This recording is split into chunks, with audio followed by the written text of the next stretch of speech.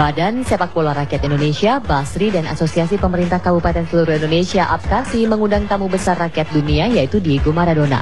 Dengan biaya kedatangan sebesar 1,2 juta dolar Amerika Serikat, Maradona mengunjungi empat kota pada kurun 18 hingga 22 Juni. Diego akan berada di Jakarta, Medan, Surabaya, dan Makassar.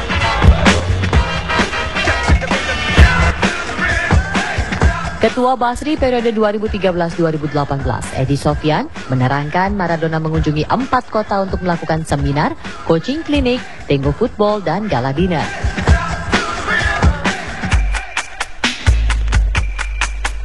Berdampingan dengan Ketua Umum Asosiasi Pemerintah Kabupaten Seluruh Indonesia Apkasi, Isran Nur, Edi memastikan peserta kegiatan Maradona tidak gratis.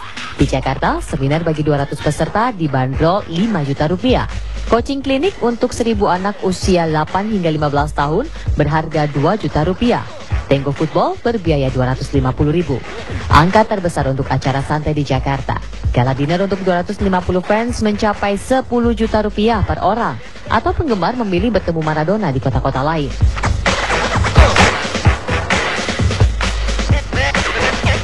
Di tiga kota lain, Basri menetapkan bandrol 2 juta rupiah untuk seminar, 1 juta rupiah untuk coaching klinik, 200 ribu untuk tenggo football, dan 5 juta rupiah untuk gala dinner.